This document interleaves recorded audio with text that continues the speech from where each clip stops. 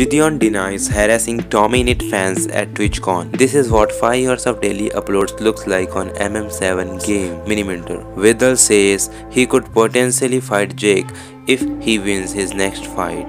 Viddal is KSI's coach also. Team Rahman Jr. is an opponent that I could face. It's an opponent that if my team said, yo, we got Hasim Rahman Jr., everyone would look at it in the boxing world as a good fight. So it's only right that with Jake taking on Hasim Rahman Jr. as an opponent, that we give him his respects. Because honestly, it's an it's an opponent that you know could could be mine. So for Jake to be in there with an opponent that could be mine, obviously there's a, there's only two outcomes: win or lose. Could be a draw, but I doubt it. If Jake beats Hasim Rahman Jr., then the possibility of him being an opponent for me, of course, increases tenfold. And I think that's only logical sense. I can't sit here and say, you know what, man, he's still not on my level. Because I just think it's a bit arrogant and. Clix get his first kiss on stream after Andrew Tate helped him.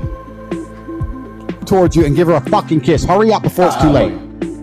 Alright, fuck it. Yo, she's not down. I'm gonna keep it real. Alright. There, there, there. Down. Read in. Give her a kiss. Ah. Give her a kiss. Go, go, go, go. Let's go. Go. Foot. But that. What the fuck? We did not just wait a fucking hour for that shit. Hell fucking no. Hell no. That shit ain't fucking happening, dog. We did not just wait an hour for that. That was so weak. That was so weak that the only appropriate response from me is to leave. Wow. Deji versus Canelo Alvarez. Who would win? Deji's coach Dele responds to Fousey's steroid claims. Fouzy calls out Daisy and accuses him of using drugs. Good morning.